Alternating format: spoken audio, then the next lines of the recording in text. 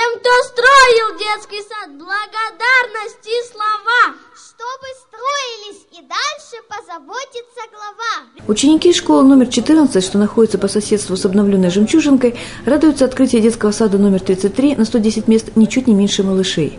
Директор школы Игорь Харланов видит в таком союзе добрый знак. Полевской молодеет, в нем все больше рождается детворы, а значит проблему новых детских садов нужно решать и бизнесу, и власти совместно. Очень рад. Я просто помню, что здесь было раньше, какое состояние было здание. И просто территорию не узнать вообще, прилегающую. Для меня это как для директора много значит. Плюс у нас появляется свой подшефный детский садик. Мы очень рады его открытию. Реконструкция и возврат этого здания в его прежний статус детского сада номер 3 «Жемчужинка» стал возможен благодаря областной целевой программе развития сети дошкольных учреждений. Полевской выделил деньги на условиях софинансирования для проведения всех видов работ. Правительство Свердловской области, по словам главы города Дмитрия Филиппова, выделило средства на приобретение оборудования благотворительную помощь в проектно-сметной документации на полтора миллиона рублей оказался Ярский трубный завод, за что огромное спасибо управляющему директору Михаилу Васильевичу Зуеву. Вот, но э, и самое главное э, то, что э, Сербский трубный завод и дальше продолжает оказывать эту помощь. И сегодня уже еще на один детский садик в северной части города, города готовится проектно-сметная документация. Ну, действительно, такое знаменательное событие. Я всех поздравляю, особенно маленьких, особенно мамочек наших, которые вот 110 мест здесь появятся и которые смогут своих ребят отдать в надежные руки, а самим в это время заниматься своей работой, своими какими-то делами. Управляющий директор Северского трубного завода Михаил Зуев подтвердил, что социально ответственное градообразующее предприятие будет помогать на всех этапах реконструкции старых и строительстве новых детских садов в Полевском. Мы решили, что нам надо оказать содействие в строительстве еще одного детского сада и срочно заключили договор на проектирование реконструкции еще одного детского сада в следующем году.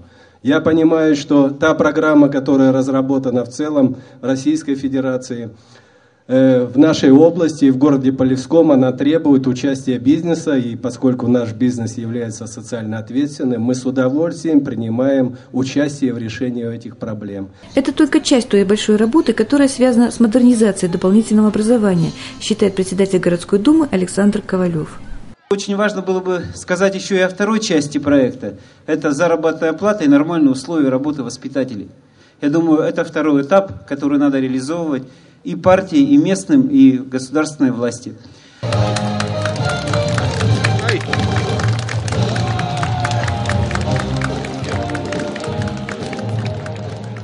В каждом помещении тщательно и с любовью продуман интерьер. Радостные теплые тона создают особую атмосферу комфорта и уюта. Здесь все радует сердце, особенно родителей, для которых ожидание мест детский сад становится наиважнейшей проблемой. Бабушка маленького Максима, Нина Герк, считает, что в Полевском наконец-то чувствуются хорошие перемены и важные для полевчан любого возраста. Наконец-то открылся садик, мы так этого ждали.